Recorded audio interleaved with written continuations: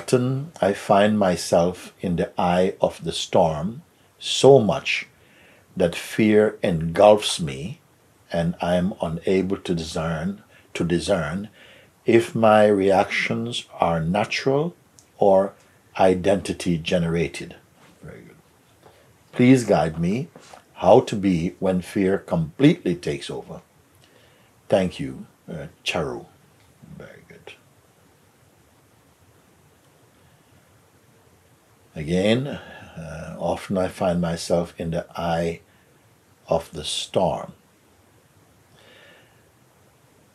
You are the eye of the storm. Eye of the storm means why we speak about uh, eye of the storm. Because wherever there's a storm, there's also a stillness. And the eye of the storm is the stillness that you naturally are. So we are off to a good start if I can get this uh, point across. So I often find myself in the eye of the storm. So, so much that fear engulfs me. So when you say in the eye of the storm, we have a different view about what the eye of the storm is. It can be the eye of the storm or the eye of the storm. For me, it will still indicate same thing. That storm is going on. It had a beginning. You were there before the beginning. In the duration of the storm, when everything is, you're in the midst of your tsunami. Oh, okay, you are still very present as you were before. There is something in you which remains unchanging. At the end of the storm, you are still there. Storm has passed. You are still here. There is an I sense within you which is serene and still before the storm, during the storm, and at the end of the storm. It is not the usual way in which we identify ourselves, but it is the way that I identify you. Who am I speaking about when I say you? In my eyes, you are consciousness.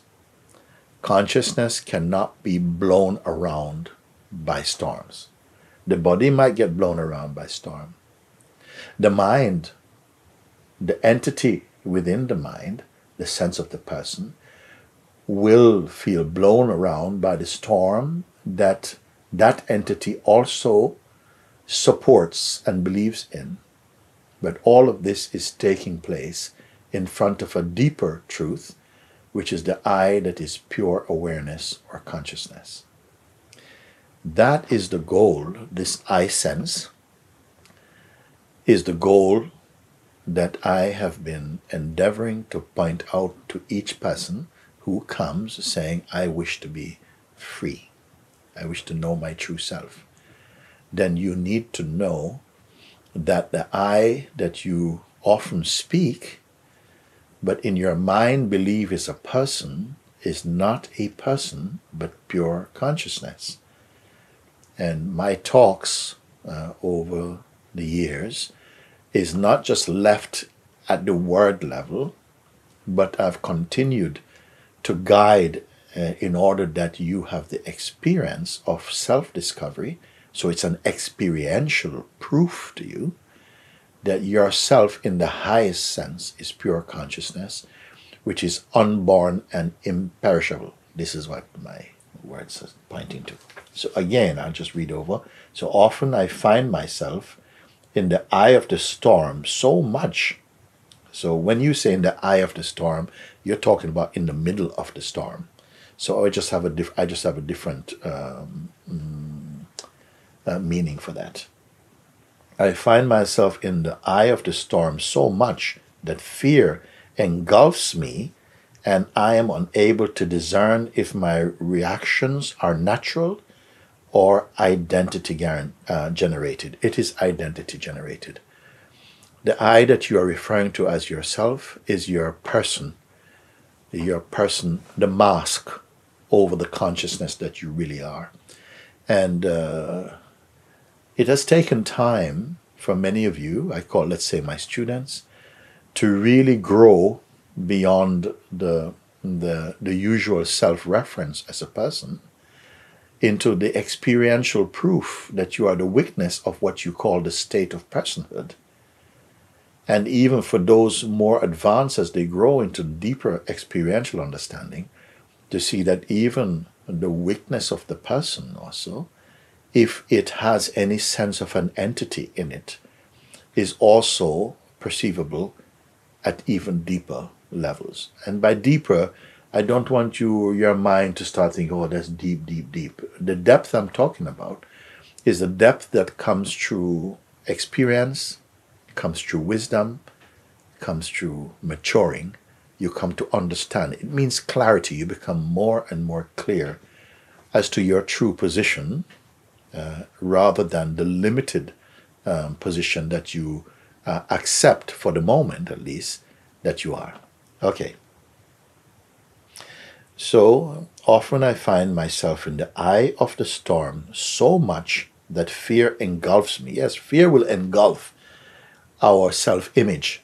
The idea you think uh, of as yourself will feel, ah, and so, and you feel a crackling. Because you identify with that, you take on the full blast of that experience. But as you continue to listen, that I am not placing you there, some conditioning has placed your identity there. You are earlier and further back in a place where you are untouched. That you are actually the witness of this play which is appearing on the screen of consciousness. You are the witness, just like you're watching a movie. You can come to that experience. Like you're watching a movie and there's a storm going on, and uh, let's say, um, I'm stepping a bit further here. That uh, many years ago, I watched one uh, movie. I think it was called Earthquake, and in those days, it was the first time they were introducing uh, this kind of thing called Sensurround, where they they did something in the cinema room so that when the when the earthquake was appearing on the screen, the sheet the, the seats would shake. So we had a a little bit of a uh, uh, uh, uh an experience as though to give you a, a bit of reality to it. And uh, when this, it was called Sensurround, nobody knew what it meant. But uh, when we went there, and the, the, the, on the screen was showing the, the building shaking, our seats started to kind of give the feeling of movement. And actually, some people got up out of their seats and started to look for the for the for the entrance. Uh, I was not one of them. I, I sat down and I said, "Whoa, whoa! This is hey, this it was quite a an experience for me." But nothing was happening to me. It's only in the mind. The mind, ah, something. Oh, oh, oh, I better get out. And some people are so identified. There's a stage when we are so identified with our body-mind identity that you take the full blast of the of the of the mind's demonstration the mind field, the mind force, and uh, and then we suffer that, of course. So you're asking um, that when this thing happened, when you're engulfed uh, by fear, and you're unable to discern if your reactions are natural or identity generation generated. So I say it is your identity that is suffering it. Identity meaning the idea you are presently holding to be yourself. That is what suffers it. And that's what is, is, is created the intensity of that experience. Please guide me how to be when fear completely takes over.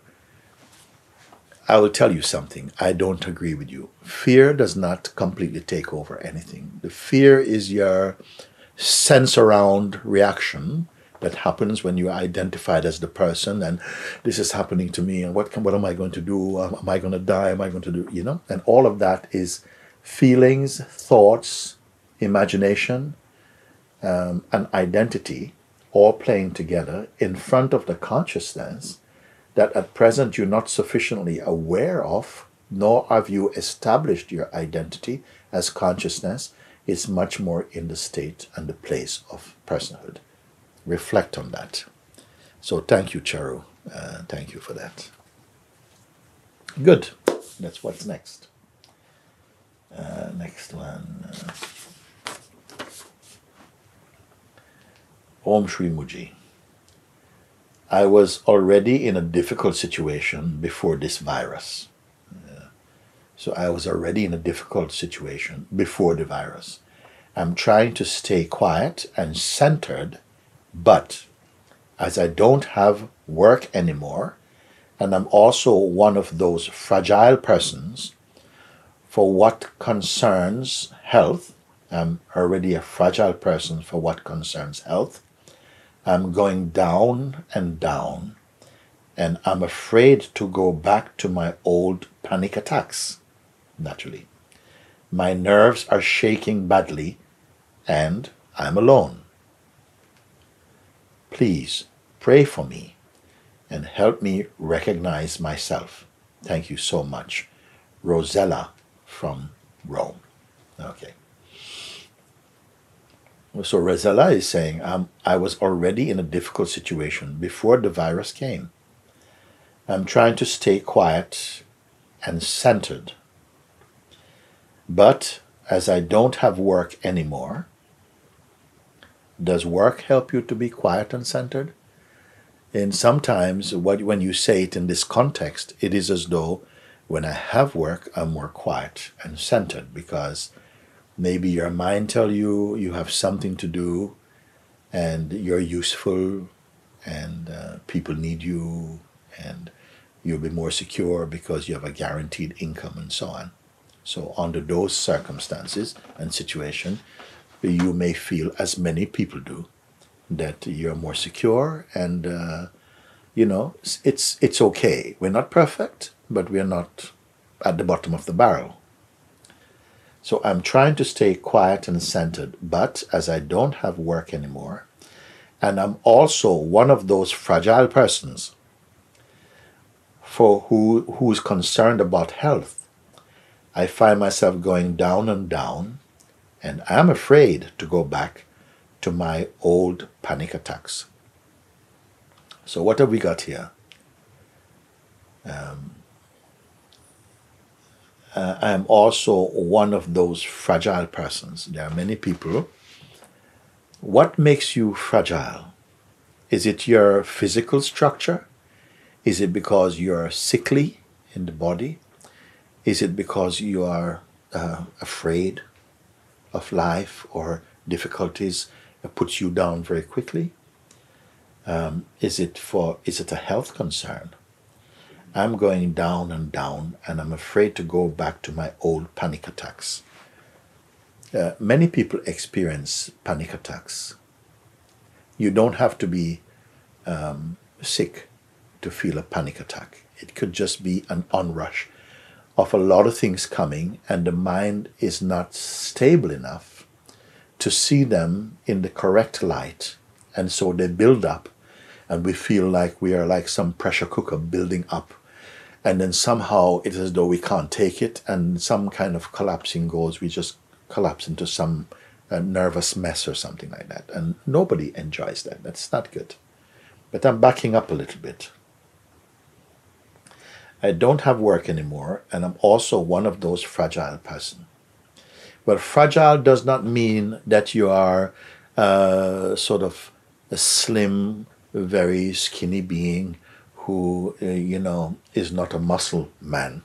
No, because if you look at someone like uh, Sri Mahatma Gandhi, he was a very skinny chap, you know, and he uh, was, but in his spirit, he was mighty.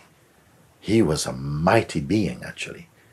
So fragile does not mean that you don't have, you know, physical strength. Actually, you know, God shows in many cases that people who you think are a little soft and you can step over them are great beings within their own spirit and in their being. So, what are you referring to as your fragile person? normally, I'm sensing um, uh, you say you have concerns for health. So, I don't know if you have a health issue or something, health problem. You can have a, a health, an unhealthy body to some degree, many people do, it doesn't necessarily mean that you're worried about it. Some people are been uh, sick in the physically not well, but they are actually quite happy in their being. It is possible, no? Um, and uh, so I just that caught me. What makes you fragile person? I would say what often makes people fragile person. The strongest case is when you are not established in your true nature. That is the most um, uh, common um, uh, reason, I would say, for this sense of fragility, even more so than a sickly body. Sometimes we are fragile because we're living too much in our minds. And then you become to see that your mind actually sometimes is not your best friend, it's not your friend, and not yet. Only when you have come to a greater understanding of your true nature, then the mind, seeing that he cannot conquer you, he will join you and also come back to its own source. So, um, as I don't have work anymore and I'm also one of those fragile persons, take your pick if you want to describe yourself as a fragile person. A fragile person, uh, for me, is like a fragile state than a, than a fragile being. A fragile state of mind, meaning that the mind that is not living inside the heart. At some point, uh, some people may think that they are very strong, but some small thing can knock them over. So that delicacy, that delicateness rather, rather than delicacy, delicateness often comes with not being centered in your own heart. And let me have my own word in saying that I feel that a human life comes alive when you are discovering your true nature. Not when you are making riches and having all the material things in the world. That's not going to help you on on this day. You know, it's no use if you're a millionaire, you know, in the desert when there's nothing there. You what's not what is not going to help you that you have a beautiful house in, in California or someplace. You have to be rich inside your heart. Now, and you are actually this is why I can speak to you like this, because I am endeavoring to remind you that as you come more deeply into your real discovery of yourself, you're going to find great strength, unbelievable strength, in fact. That is possible for you. Now, you say, My nerves are shaking badly and I'm alone. Well, it all goes together. If you're not centered in your own self, which you can be, and that, oh, that's what I'm here for, sitting here, to remind you of that. If you're not centered inside your own heart, and then on top of that, you say, I'm feeling alone. Again, aloneness is not a negative state. Aloneness, sometimes you need, everyone needs to be alone. And you need also to be good at being alone. Okay? Aloneness is not a curse. There are some people who are dying to be alone they are, they are aching to be alone because their life is too full of the noise of other people. So don't curse yourself by accepting these things as though that's bad for you. It's your mind is saying, "Oh, you're look at you're alone also," and you, you are buying that because you are not um, paying attention to your real self. Then you become very vulnerable to the minds like the the negative side of the mind is taking advantage of you, so to speak. But it's a relationship, okay? You are still there. You have power. Um, so please pray for me and help me recognize myself. This is what is happening right now with this letter, reading this letter to you. There's every hope for you, there's every chance for you to wake up to the richness you already are. So please be lifted up by this I'm with you. I'm on your side. God bless you, um, Rosella. Thank you. I'm going to have a little sip of my tea. Mm.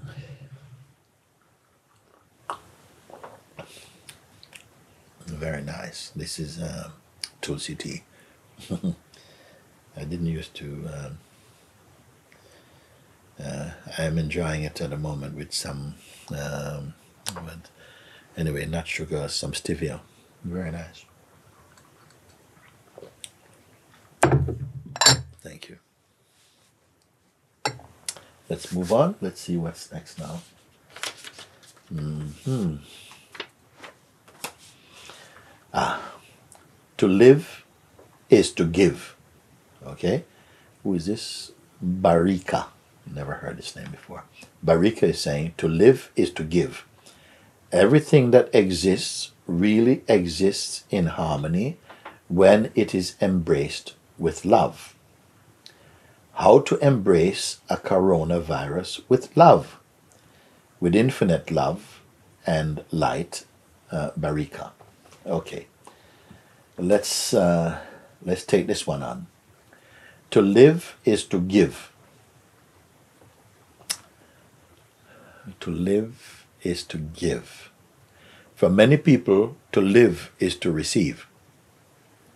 I think we are more receiving than we are giving, actually.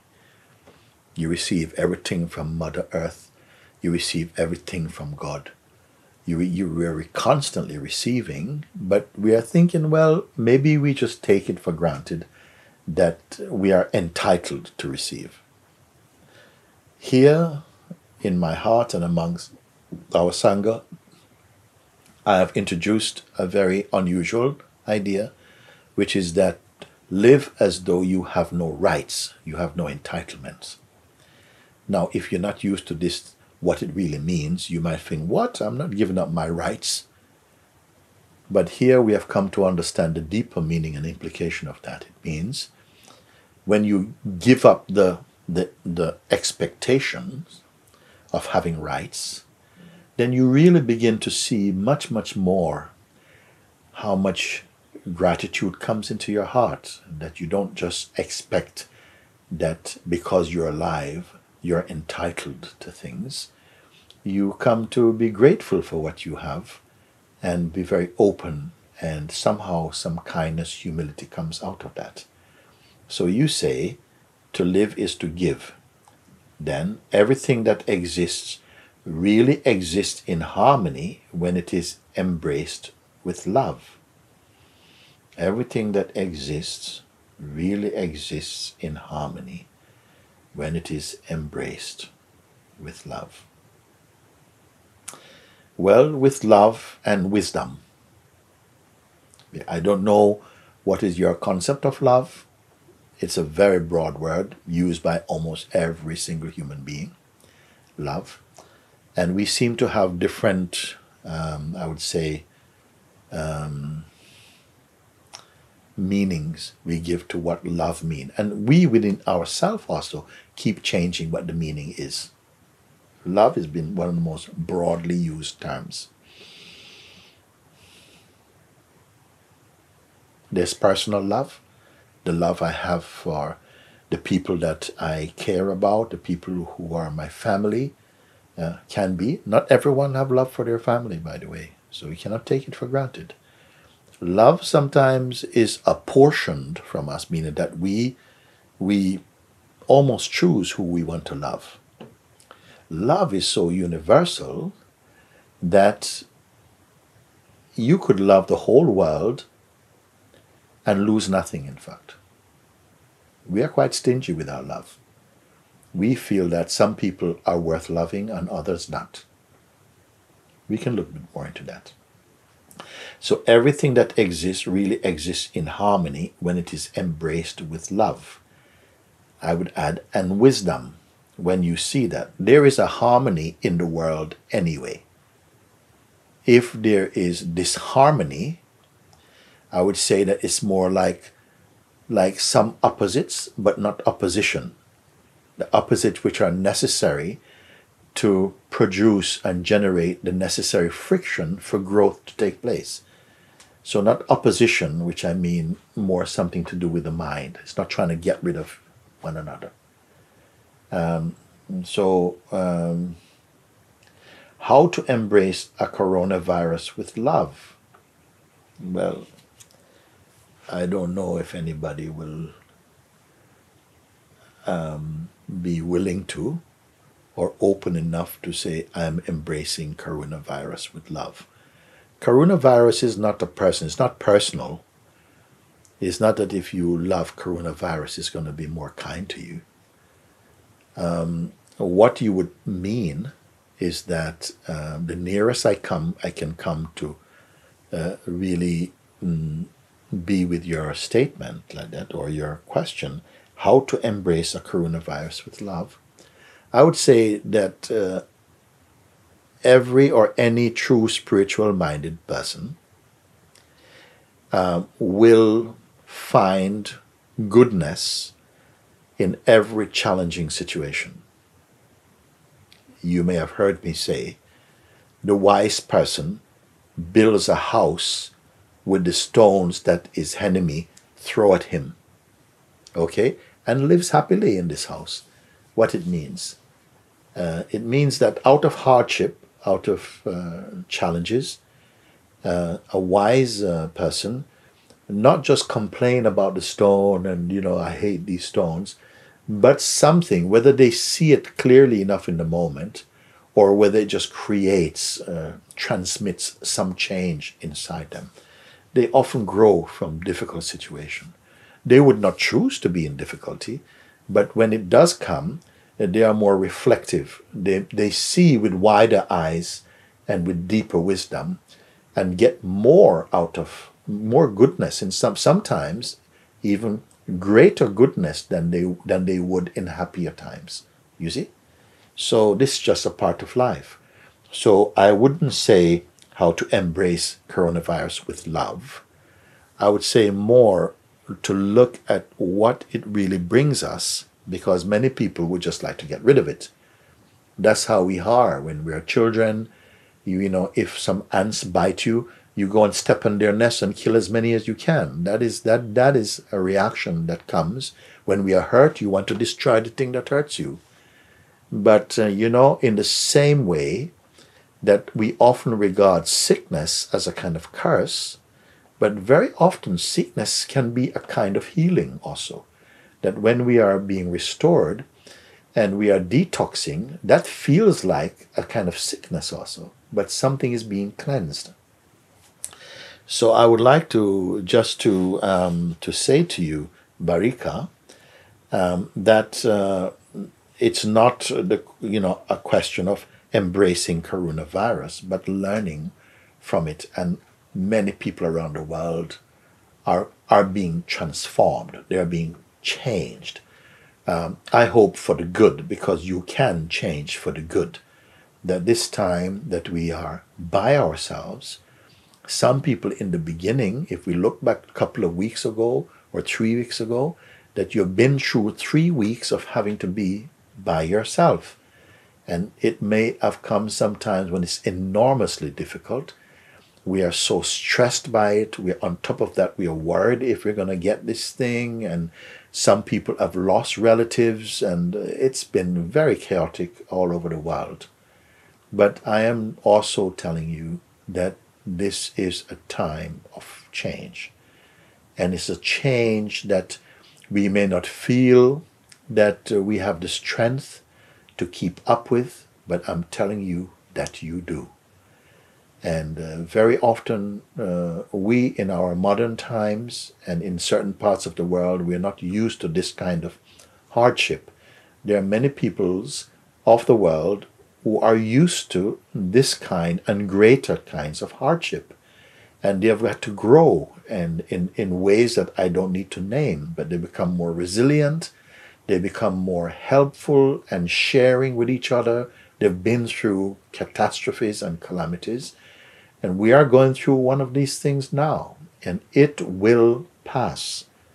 But at the same time, while it is here, make the best use of it. And our, my, I would say, as well as I'm sure there are many people around the world who are encouraging our world family to not panic and to use this time. Myself, I have put out some guidances, some um, simple meditations that anybody can follow. And why? To help you to really get back in touch with the one place you need to be in touch with. we are forced to stay at home in our physical home. I want you to choose to discover your inner home, the home of being and of your true nature. And this is why I'm here sharing with you. I have some uh, uh, videos. Uh, one is called um, uh, excerpt like "Find the peace and space within you." Look it up, please, and and, and listen to them. These will help you to begin to discover uh, your inner being. And I would say this is one of the way in which you can turn around what may seem to be a catastrophe into a blessing when it gives you opportunity to discover your true nature. You know, um, uh, Barika, thank you. You know, uh, there are many people who are spending this time catching up with things that they've longed to do, time that they really needed to spend just to slow down because their their life is moving faster than a pace that they can keep up. There are many people who are stressed by their work conditions. There are many people who needed to spend more time with their children or with their families. There are many people who needed just to be alone. It's not just it's just a catastrophe for everyone. I would say that it is an opportunity for everyone. Please uh, take it many beings, like myself and others, are in service to you in this moment to try and direct uh, us all to find a higher place within ourselves. The world is changing in a new way. We don't know how that change will be. That's not a reason to be depressed. I feel and hope and pray and believe it will be bring about some mighty good changes for everyone. I am not against anyone. I am feeling that this change, difficult as it may appear to you and be experienced in you at the moment, has a lot of spiritual uh, vitamins, vitamins, a lot of uh, wonderful things to come. But as it has been throughout our histories, that sometimes we go through difficulties to be reborn in a new way to reach higher ways of being. Please uh, keep your heart open to this. Thank you. Thank you. Let's see now.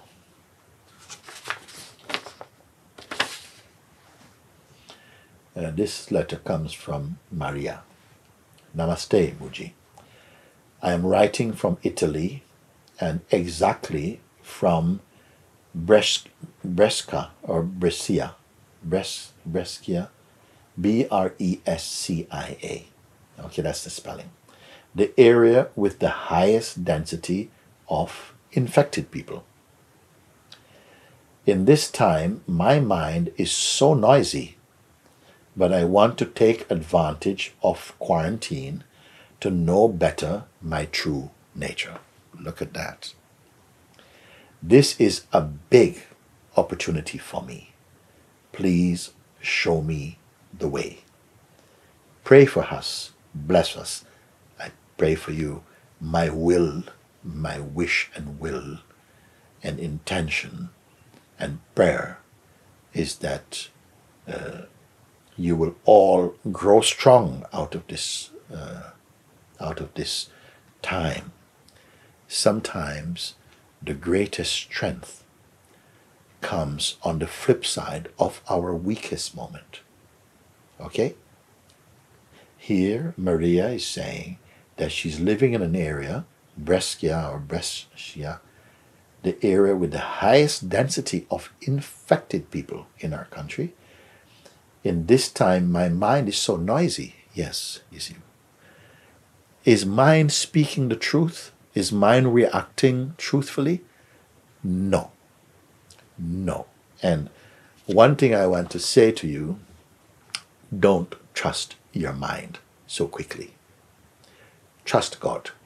You may not know what God is. I will talk about this more one time. But we have an instinctual, uh, deep uh, urge within us to find the truth and to find our highest self. That is the God self. Okay? God self and your deepest truth of yourself are one and the same. I'm not speaking necessarily religion to you. Okay? I'm speaking truth. Okay? So, um, in spite of living, you know, okay, you're living in the most densely infected area. In this time, my mind is so noisy. Of course, the mind is, it's, you know, it comes up with fears and you're going to die and what's going to happen to you and the world is this and so on. And in times like this, you see, you get a chance to see the behavior of the ego mind or the psychological aspect of the mind you see it is not in service to your true nature. Okay? We are seeing this. And because we are for so long out of habit and culture created such an intensely intimate relationship with our mind to the extent that we believe we are our mind largely, when he's making trouble like this, we suffer. We suffer. I want to show you a way out of it, you see. But I want to take advantage, she says, Maria. I want to take advantage of quarantine to know better my true nature. Now, this for me, this letter touches my heart immediately. This woman is expressing a very high aspiration. I want to use the restrictions, the seeming limitations imposed upon my my daily life. I want to use this moment when I can't go out, I've got to be by myself. I want to use this to discover my true nature. This is a big opportunity for me. She sees it as an opportunity for me. Please show me the way. Uh, pray for us, bless us. Blessed are you. Blessed be you Thank you, thank you, thank you. Om Namah Shivaya. Love Maria. Please show me the way. Maria, I would like you and others like yourself who are feeling I don't just want comforting words, they're helpful. I don't want to hear anymore so much about coronavirus, coronavirus, reading, reading, listening, listening, listening, because it's often building into the fear image the news has to do their work. But to sit there listening to the news telling you how many more people have died and how much is spreading is not helpful to you. What you must do now is withdraw and pull in your attention. Don't become a recluse, not running away from the world, but more turning towards yourself. Okay? Maria has shown beautifully the attitude that is necessary. So for others like Maria, I have put uh, some uh, videos which are guidances and guided meditations. Because I say guided meditations because many people don't even know what a meditation is. Some people just think you just close your eyes and imagine something. But meditation is for actually leaving behind all the usual noise of the mind. Sometimes when we try to do that, it seems as though the mind gets even louder. Okay? Don't worry about that. That's a natural, normal reaction. But don't give up.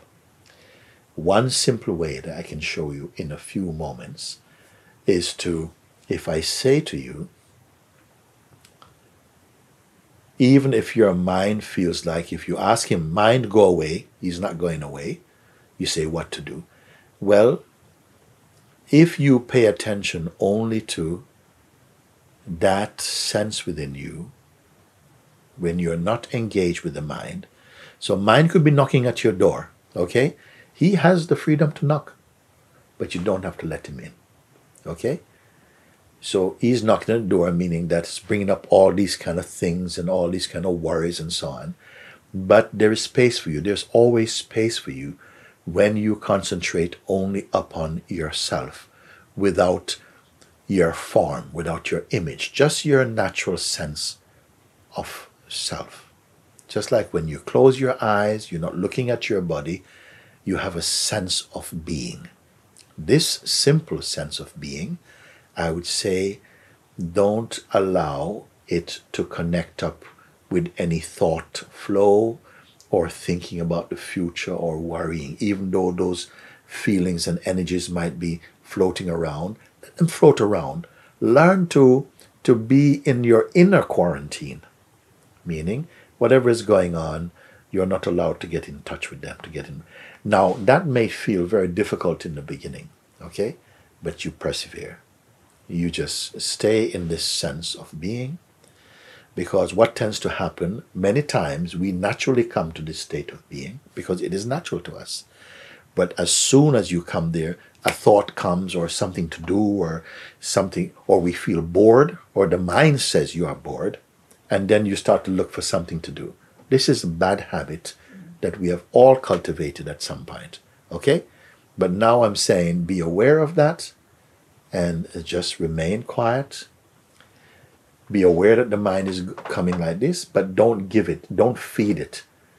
And even if it's like a baby that is crying and pulling at your dress, this is the one baby you can ignore for now. Okay? And just keep to that. It's as though you are empty. Take everything out. It doesn't matter when you take things out, even if they're right by your ears, they're still out. You take them out, meaning that you're not engaging with them if everything could be taken out, if everything to do with thoughts and feelings and memory and desire and, uh, you know, sensations were taken out, there would remain something here that cannot be taken out. That is your natural state. It's just a state of being. Not being a woman or being a man or being Chinese or being Indian, no, just of being. It has no color, it has no shape. As you listen to my words, you see, sometimes the mind come, yeah, but this is too difficult, that's not helping, and so on. Be aware because you know the mind's grumbling habit very well. And over these period of time that we are we are challenged by, so so to speak, by this virus, mind has been really giving you a hard time. But the mind is not you you can exist without this troublesome mind, but it cannot exist without you. Okay? You are first. In fact, you are before first. Okay? You must at least begin to be open to discover this because this is your way to truth and everlasting life. Everlasting life meaning that there is within you the real truth of you cannot die. It cannot get coronavirus or any other thing. It is pure, the body. Coronavirus is for the body. It's also for the mind because the mind is panicking, but not for your spirit. And spirituality means to discover your spirit self. Spirit does not mean ghost. Spirit means your true nature, which is the source of peace, of love, of serenity, of joy, of wisdom, of life itself. Okay? I am saying this to you, I'm looking at you, and I'm telling you this that that is true. Okay? So, as you spend time, it could be it could be 10 minutes 7 to 10 minutes put some some attention just on sitting like this and being empty. And at first, some people may say, it doesn't work for me. I can't do that. My mind is just, my mind is even worse. Yes, no, it's going to get worse before it gets better in some cases. But you will continue maturing and growing and growing and growing. Don't give up. Don't give up. If you can only do it five minutes, do that five minutes. And I will tell you that at a certain point, when you persist and insist on finding the truth, you will start to experience Not the mind running about, but the space in which the mind is perceived. Even if you have a little taste, you are going to want more. And more of what? More of you, more of your true self and nature. Okay? So start with this. Watch the videos that I recommend and the guidances that I recommend, which is like I think I gave one before that says, find the peace and space within you. That is like a 30 minute uh, uh, video. And there's an audio, I think it's called An Introduction to Your True Self. I think that's what it's called. I hope I'm not wrong, but uh, look it up and listen to that one or so. But there are others, there are others. And I would like to tell you that there are also other teachers who are maybe putting some words online and so on to guide people throughout this time. Okay? Whatever resonates with you and you feel that it is really bringing you home or to a place, home and stillness and peace are the same thing. The home here is greater than the home here and you are going to discover that. God bless you. All the very best to you. All love to you. Thank you, thank you, thank you. Maria. Little sip again.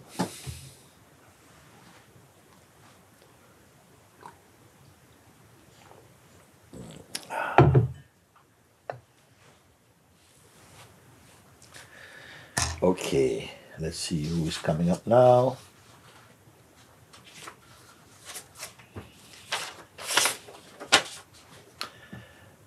Dearest Mooji, in these challenging, I have a picture with two people here. A letter from Henrietta. In these challenging times, I'm asking your blessings for the elderly people of the world. I can start right there. All the elderly people throughout the world who are said to be more vulnerable at this time I pray that you will transcend the fear about these things. It is not necessary, or nor is it um, uh, necessarily true that you know um, coronavirus is out to get you.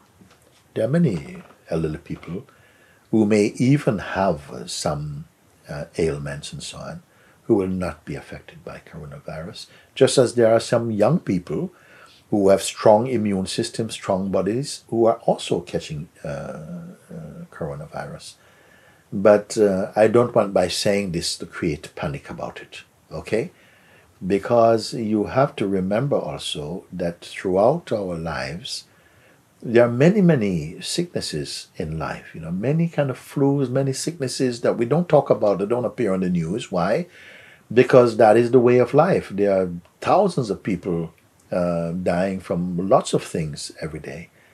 I feel that what is uh, particularly catching our attention is that uh, the coronavirus is a worldwide uh, phenomenon at the moment. I see even good things in this. It's one of the ways in which we have to acknowledge and see that we are one race. We are one uh, as people. Coronavirus is not here to attack West Indians or Chinese or white people or whatever. It's not, those things make no difference to, to this. So, because of this, uh, we are compelled also to recognize that we are one, we are fighting this together, and we are seeing that around the world efforts are being made by very, very diverse uh, peoples, nations that are sometimes in conflict with each other, are supporting each other throughout this crisis. Okay? This is a good thing, and I would love you to be aware of that. Uh, there's a lot of wonderful things happening at, at the moment also that a lot of people are in service to helping mankind remember one time i told you that somebody asked Papaji my own spiritual master they said, Papaji, you know, what must mankind do to really elevate the human species? And Papaji says, mankind must become kind man. Mankind must become kind man. And now we are seeing the kind man emerging out of us, where we are having to help one another throughout this time. And no blame, no shame, just help and love. And so many people, I have to say, I applaud along with millions of people the efforts that are being made in the through the medical world, through the through the aviation world, through the shipping world, through many through the armies who are now employed uh, em, employed to to help in ways that are not their traditional way. Also, some of them, and uh, it's it really is also producing the best of human nature. Also, don't you agree?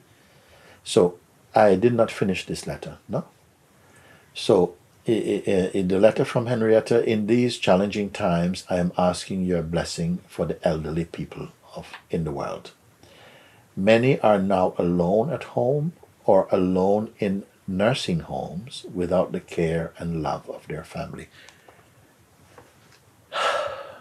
This is very difficult. It is very difficult. It's a, it's difficult for the elderly. It's difficult for the families, and my heart really goes out to you. Um, but to say, please do not focus on this right now. Um, I pray and include the families in the prayers that they will be comforted uh, by the work also that's happening. Uh, calamities are like that. We cannot pick and choose. Uh, it, it is it is so painful to see what is happening throughout the world. But we are doing everything we can, each one, myself included, and our community is doing whatever we can in our own way, small way, to alleviate some of the collective stress and fear and uh, really applying uh, the, the correct, not just attitude, but the, the services that are needed for those who most need them. God be with you. God is with you. Some of them even pass over without loved ones around them. This is understandable. But you know, there are so many caregivers, there are so many people who I know, some of them personally, okay, who are in the role of being with people who are severely ill. And they are the surrogate family when your family cannot be there for you. There are times in life when our lives and we are in deep predicament far away from our loved ones, and it can feel a very painful time. Uh, but God is with you, and it does not matter, even if someone has to leave their body in the desert where nobody uh, knows that they are there. I want to tell you something. An angel of God will come for you. Or some of your relatives who have gone before you, you will come to see them. The death is more great in the minds of the living than those who are transcending. Okay? There's a certain point where we are very terrified, and especially for many people who feel that they have lived a life without love and without care enough, you know, that uh, they may feel something comes. It's like you you you come to a moment when you feel, I wish I had done that. Your life is not over. Even in those days, you can make a prayer, Lord, please help me, forgive me um, for the, the the things I could have done better and, whatever it is. It is a it is really a most intimate time, and a time when I'll say to you that is your time with God. There's a time when it's got to be just you and God. Okay? There are beings in the world who have evolved spiritually so highly that even at times like this, they don't need to pray. Okay? But for all of us, we need to pray and to, to ask for forgiveness or to ask for mercy or ask to be absorbed or to merge into the kingdom of God or whatever. Whatever your religion, I don't mind. Whatever your your gurus and prophets or sages and saints, you will call upon them. It, it is the way of things. Okay? But there are on earth also many caregivers, many people whose time has been used to spend with people who are leaving their bodies and to care for them. I would like to reassure uh, the, the, the families that not in every case it is that your family just die without anyone loving them. Even the doctors who are working in the most severe cases, their, their being with your family is an expression of love. Please don't forget, love is very broad and it is still the hand of God working with them. The nurses are working with them. Everyone, everyone is is is uh, sharing this. So I know the pain of this moment, and I am I'm with you in this. Okay. Thank you so much for also blessing my mother, uh, Margaret, Margaret, with your grace. She has dementia and I cannot visit her right now. With gratitude and much love to you, your team, and, and to all of us, may the light set us all free, Henriette. Thank you, Henriette. God bless you all. All who are in the very um, in the very heart of this storm, in the very height of this storm. Um, bless you. Uh, I cannot tell you how much the presence of God, how much truth, how much you cannot you cannot be without the guidance and the presence of pure consciousness. I have to tell you that. Sometimes we suffer more on behalf of those we care for or are worried about. Sometimes we suffer more on their behalf than they suffer within themselves. Again, sometimes in our worry and our feeling we are so apart from our families and so you know this type of thing or for someone that you are worried about, sometimes we suffer more on their behalf than they are suffering themselves. Bear that in mind. And God bless you. Thank you.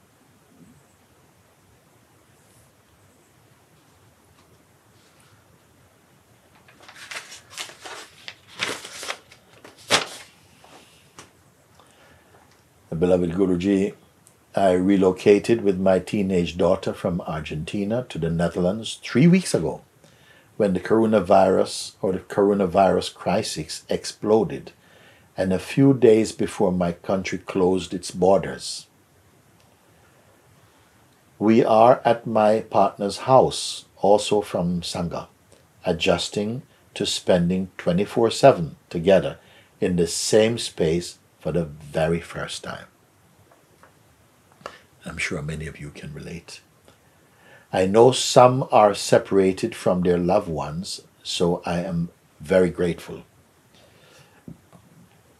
I know God makes no mistakes. That is a tremendous knowing. That is a tremendous wisdom and faith. Again, I know God makes no mistakes. Still, Guruji, we struggle sometimes moving in harmony and personal stuff is triggered. Yes, yes, yes, yes. I know. I know. Sometimes uh, this is going to be the greatest test and the greatest challenge put upon our relationships of varying kind, whether it is with your family, with your partner, with your children, with yourself even. what a great move God is moved on us to put you in quarantine with your family or with yourself and with life. So these things are going to come. Don't treat or regard your challenges, okay, as curses. See them that they come actually out of love. Haha, very challenging thing for me to say. Why love? Because it compels you to grow beyond your present perception of your limitations. Okay? So we struggle sometimes moving in harmony and personal stuff is triggered. You think you are supposed to live and keep your personal stuff all nice and tidy? Your personal stuff and your person is not you. Not you in the absolute sense. Our person is the mask worn over our true self. Our person is our conditioned identity based upon the belief that we are our body form. And that gives, it is also an expression or mode of consciousness, but it is not the fullness of consciousness. It is a very limited uh, mode of consciousness. So when times like this come, it shows you where you're tight in your person. You can, you know, you there's no room to really expand, and so in a sense, there is room to expand. You see, when there is no way, and you have faith in God, as you have said, God makes no mistakes. When there's no way, God shows you a way. When there's no way, consciousness, pure consciousness, the Lord Supreme, will find a way for you, especially those of you who trust and hold to the truth will show you the way. So all is not lost, and there's much to gain. Okay? I continue. The lockdown has brought new pressures and challenges to everyday family life for many around the world. Yes, it has and will do. But I want to tell you something. Again, I keep stressing over and over again. Don't perceive hardships as a curse. Yes, we don't enjoy, but very often things we don't enjoy are the things also that help you to grow. Sometimes we have inherited or developed consciously or unconsciously weaknesses within our being that we are not readily in touch with, and that they are holding your being hostage, and we are not aware of them. And in times of trouble, in times of testing, in times of distress, we have to face up and they help to flush out these deeper fears. They bring it to the surface. And things that come to the surface come to the surface to be put out. So when the phlegm comes to your throat, don't swallow again, spit him out. I know these examples seem very crude, but it gets to my point I want to try and make to you. If you can um, imagine an earthquake at the bottom of the ocean, lots of bubbles are set free, trapped, and they come to the surface when they touch the surface, they, they pop and they disappear. Something like this has to happen to all of us. Every human being has somehow collected or absorbed many poisonous things in our bodies and our minds throughout our life. And it is a great thing when it's time to detox. And we're probably not aware that you are being helped to be to, to be detoxed. And the detoxing sometimes is not pleasurable. Just like if you have experienced vomiting when you're feeling some disturbance in the stomach and you want to vomit, how horrible it feels, how horrible it feels. that you're going to vomit. You don't know when, you don't know how. Sometimes you're in a very inconvenient place. You have to vomit, you have to vomit. It's the most horrible feeling. But when it's over, it's the greatest relief. And sometimes we have to vomit up our sickness sickness of thought, sickness of body, sickness of being, sickness of, of ego has to be burped up out of our lives. And it comes up in many unexpected ways like this. But my dears, don't be discouraged. You have written something very powerfully. On this page so far, what is glaring out at me is your statement I know God makes no mistakes. It is like highlighted on this page, this letter you've written to me, Paz. Okay? So I am encouraged to share what I'm sharing with you. So again, you say the lockdown has brought new pressures and challenges to everyday family life for many around the world. Can you please offer some advice to make us of this time or opportunity to grow in love and openness. Thank you. You're in my heart always. Paz. And I saw a lovely picture of the two of them smiling. Well, I'm sure they're not always smiling. Okay? But that's life. Uh, in sometimes when you live together and you see your edges are rubbing together, some things like this, you also must keep in mind that we are growing from this. We're deepening also. Sometimes why not deepen in love? Maybe sometimes we're living and we just enjoy our, uh, each other in a superficial way, and now you know you you know everywhere you cannot get away from each other, and it's your mind mostly. You know, I tell you who is suffering this coronavirus? Your mind. Coronavirus is suffering. Your mind is suffering it. Your identity is suffering it. Your ego is suffering it more. You see? But it's come for everybody. So take courage and, um, you know, or be of good faith and courage. I wish you all the very best. I hope what I've shared with you in this letter is uh, encouraging and uplifting and increasing in love and patience and tolerance and gratitude also.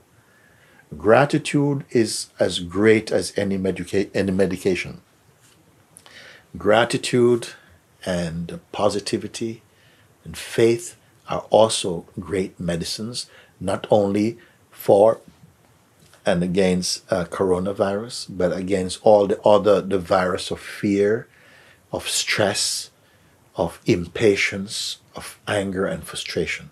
Okay, I made recently one video of thank you. Go to that video, watch it, and alongside myself say thank you, thank you to existence, thank you, thank you for life. Thank you that I have a mind that I can think and contemplate. Thank you for the challenges that have been brought to me now that you have shown me I can overcome them. Thank you for uh, friends or for those who love me. Thank you for this difficult moment that we are facing so that we are compelled to go more deeply. Thank you that we can uh, have this time also to look into ourselves, that we have to be more creative, we have to refresh our spirit. We thank you, thank you, thank you, Lord of the universe. Thank you, consciousness. Thank you, existence, like that. Okay? Thank you, thank you, thank you. I'm just going to read one more letter for now, for today, for this moment. Um, and it goes like this My dear Father Moojibaba, I am not afraid. Hmm. Let's carry on. I am not afraid. I know that my thoughts, sentiments, and feelings are only the ephemeral colors of pure consciousness, of the profound silence from which everything comes. Whoa. Whoa. That is strong and that is beautiful and that is light. I'll continue. I am conscious of everything But in this difficult time, my 21 year old son is trapped in Colombia because all borders are closed. This is mother speaking. We hope for his repatriation soon. But as I am in my heart peaceful and serene, suddenly tears come and I am flooded by a great sadness. I cry. I cried so much since I met you. Why does this body cry so much? Is the love of a mother for her child also part of the ego? Hmm. Is it maternal instinct? Is it God crying for the ego? I know that pure consciousness does not cry. So I already have my answer. Because thanks to your satsangs, I become aware that I am crying and I go back quickly to my heart, the place of my retreat. Is it normal to stay in this silence without even feeling the need of praying? As if the silence itself was my prayer. I say thanks to life every day. Thank you for everything, my Father. Thank you for your prayers. With my deepest gratitude, I love you, Barbara. This letter is translated from French. Wow. Wow. Wow. Whoa. I'm going to read it again. My dear Father Moojibaba, I am not afraid. I know that my thoughts sentiments, and feelings are only the ephemeral colors of pure consciousness, of the profound silence from which everything comes. I am conscious of everything. But in this difficult time, my 21 year old son is trapped in Colombia because all borders are closed. We hope for his repatriation soon. But as I am in my heart peaceful and serene, suddenly tears come and I am flooded by a great sadness. I cry. I cried so much since I met you. It is very natural thing. your child. Old as he is, he's an adult. But to a mom, still my child, still my baby. Is in another country where the borders are closed. We are hoping that there's a repatriation soon. There are flights happening in different parts of the world to take home the last remaining foreigners in countries to take them home. We pray that he is one of them amongst the others who are taking returning home. But as I am in my heart peaceful and serene, suddenly tears come and I'm flooded by great sadness. Totally understandable. A great wave of sadness uh, floods my being. Yes. I cry. I cried so much since I met you.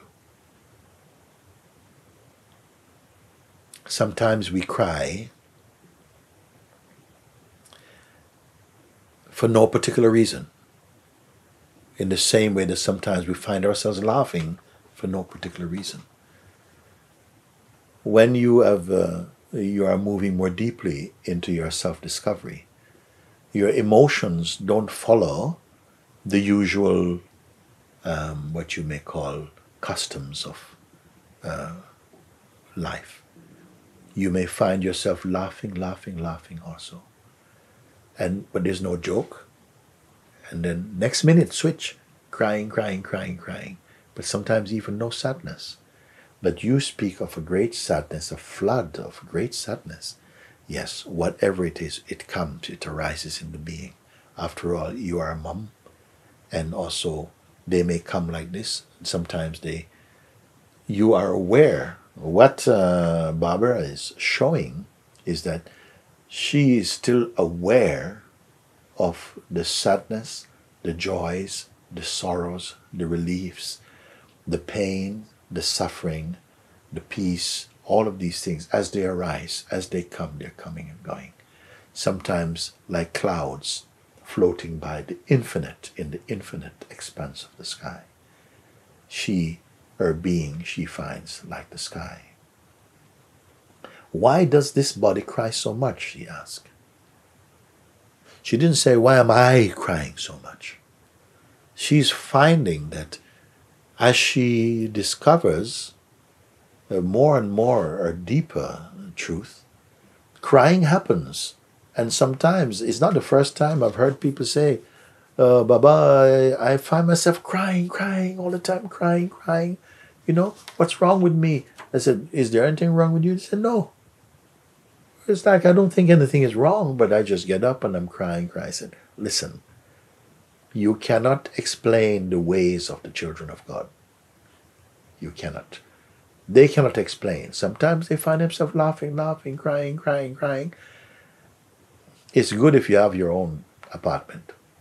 And if you're alone, haha, it can be a great field for expressing the the we are like nature. Sometimes there's great wind, sometimes a hurricane, sometimes great stillness, sometimes there's a tidal wave.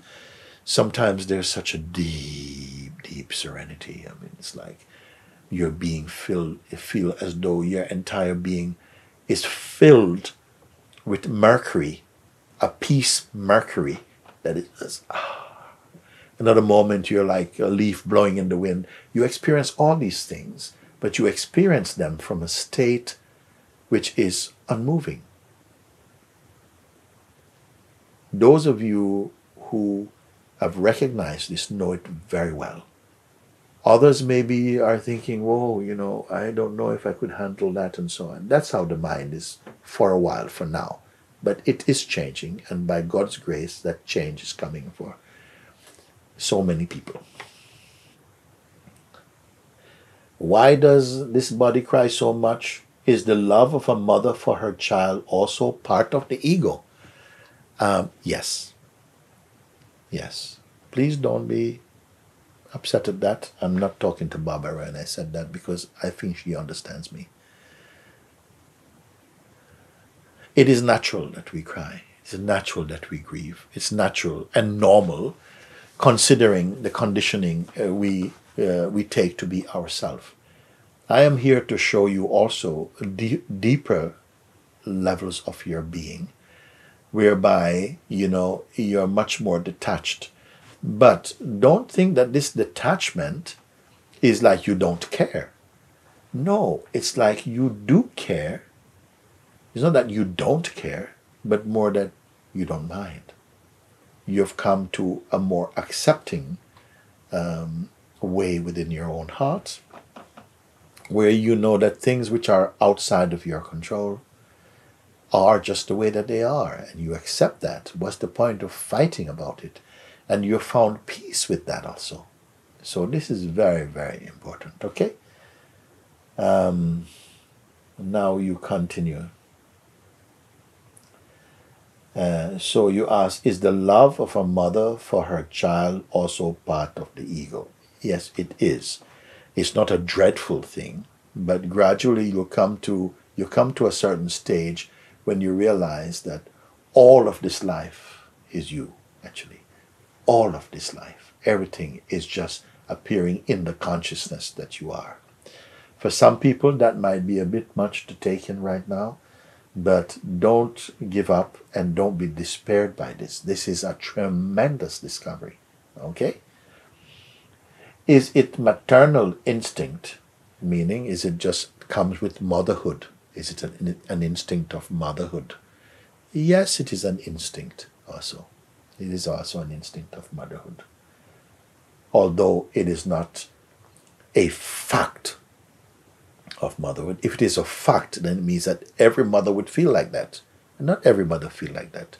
Uh, men, some mothers are very, very accepting. Some are much, much more maternal. It's like they own their baby. And many people, of course, they feel that their children belong to them.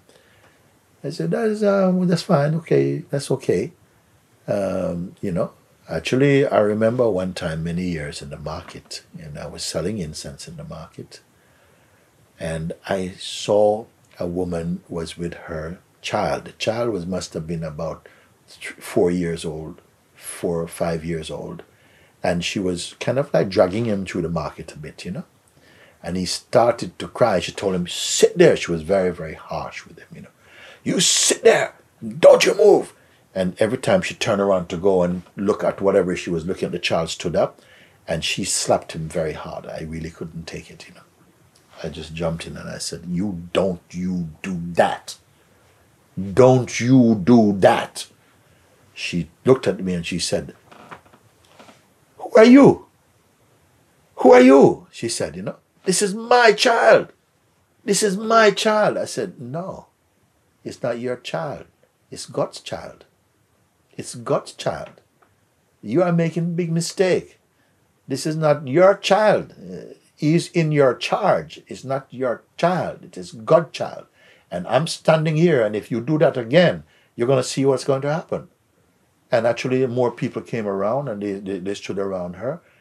And I said, Listen, you know, you can do what you want, but you're not going to hit this child again. And I'm going to tell you like this we had to call, the police actually came there. And in the end, she apologized. She apologized. And actually, she walked off. And when she turned around to look at me, she looked at me like this for a moment. And then she said, uh, like this with her head. I don't, know, I don't know what that meant, but I took it that she acknowledged that she had uh, stepped beyond uh, what was right. You know? So I just say this. You say, is it maternal instinct? I mean, for me, in that moment, in that situation, it's not my child. It was my maternal instinct to go and protect this child. So it's instinct in us to love. When we have lost our way, when we are really not established in our heart, then we may do things like that through bad upbringing and negative uh, conditioning or whatever like that. Okay? So then you ask, is it God crying or the ego crying? Is it God crying or the ego crying? Well, you know, I want to say to you, Barbara, is it God crying? If I were to say yes to you, that is a very, very, very high statement I'm making.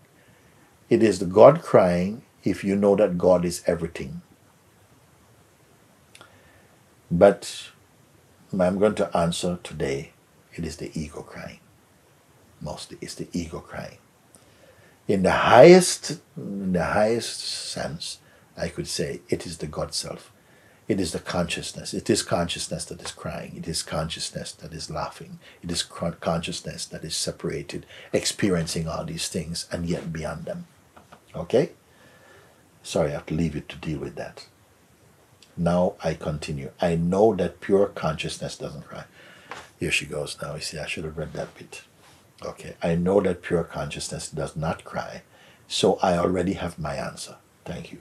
Thank you but I'm answering in a very universal way also. Because thanks to your satsangs, I become aware that I am crying and I am and I go back quickly to my heart, the place of my retreat. I go quickly back to my heart, the place of my retreat. My retreat is actually my home in the highest sense. Okay? Is it normal to stay in this silence without even feeling the need for praying? As if the silence itself was my prayer. There is some deep wisdom in you that will inform you in the moment that this silence is synonymous with praying. Okay? I say thanks to life every day. Thank you for everything, my Father. Thank you for my prayers. Thank you that I can pray also. Thank you. With my deepest gratitude, I love you, uh, Barbara. And it's at the bottom, it says translated from French. Well, I have to say, I have to say that um, thank you to all of you who have written in. I have to say thank you for such a letter that I've just read just now. Um, and I hope that uh, you who are listening at this moment will find some uh, encouragement, some inner stead, steadiness, and uh, uh, hope that our time spent with you is of some uh, benefit to your spiritual growth and understanding and maturity. Uh, all uh, grace to you. Uh, love you, love you, love you. Peace be with you. God is totally already with you. Um, and uh, thank you. Thank you for today. God bless you.